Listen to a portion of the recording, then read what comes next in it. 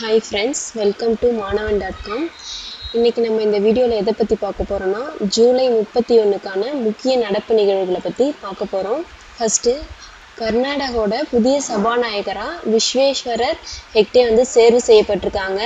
ஏற்கனவே சபாநாயகராக இருந்த ரமேஷ்குமார் வந்து பதவி விலகல் அடைஞ்சிருக்காங்க. அவங்களுக்கு பதிலாக சர்ச்சி சட்டமன்ற தொகுதியில் வந்து ஆறு முறை எம்எல்ஏவாகவும் பாஜகவோட மூத்த தலைவருமா இருந்த விஸ்வேஸ்வரர் ஹெக்டே காக்கேரி இவர் வந்து புதிய சபாநாயகராக தேர்வு செய்யப்பட்டிருக்காங்க.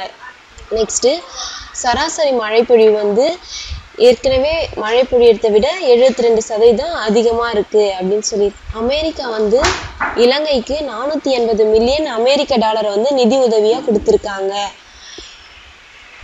பற்றி யார் கொடுத்துருக்காங்கன்னு பார்த்தீங்கன்னா மில்லினியம் சேலஞ்ச் கார்ப்பரேஷன் வந்து நானூற்றி எண்பது மில்லியன் அமெரிக்க டாலர் வந்து கொடுத்துருக்காங்க.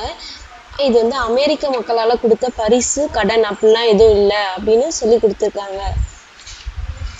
நெக்ஸ்ட்டு உலக பேட்மிண்டன் தரவரிசையில் வந்து சாய் பிரணீத் முதல் இருபது இடங்களில் வந்து நுழைஞ்சிருக்காங்க.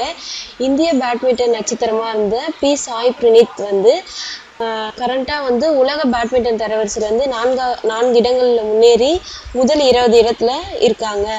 ஆண்கள் ஒற்றை ஒற்றையர் பேட்மிண்டன் தரவரிசையில் வந்து பிரணீத் உலக தரவரிசையில் பத்தொன்பதாவது இடத்துல இருக்காங்க. நெக்ஸ்ட்டு பார்த்தீங்கன்னா கிடாம்பி ஸ்ரீகாந்த் வந்து பத்தாவது இடத்தையும் ஷமீர் வர்மா வந்து பதிமூணாவது இடத்தையும் தக்க வச்சிருக்காங்க.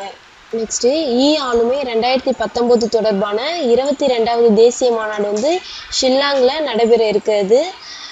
தொழில்நுட்பங்கள்லாம் சேர்ந்து பண்ணியிருக்காங்கன்னு பார்த்தீங்கன்னா நிர்வாக சீர்திருத்தங்கள் பொது குறைகளை தீர்க்கும் துறை மின்னணு மற்றும் தகவல் தொழில்நுட்ப அமைச்சகம் மற்றும் மேக மேகாலயா மாநில அரசு.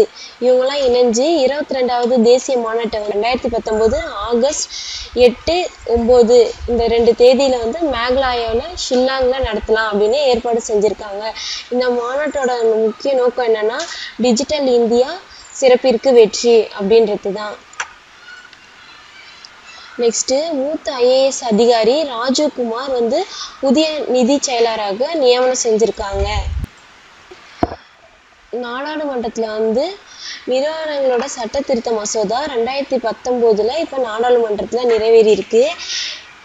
இது நான்கு அடிப்படை நோக்கங்களை கொண்டிருக்கு. என்னென்னு பார்த்தீங்கன்னா பெரு நிறுவனங்களுக்கான சமூக பொறுப்புணர்வை அதிகரிக்கிறதுக்கு அதிகரிக்க செய்யறதும் சில பொறுப்புகளை தேசிய நிறுவன சட்ட தீர்ப்பாயத்திற்கு மாற்றுவது மற்றும் சில குற்றங்களை சிவில் குற்றங்களாக வகைப்படுத்துதல்.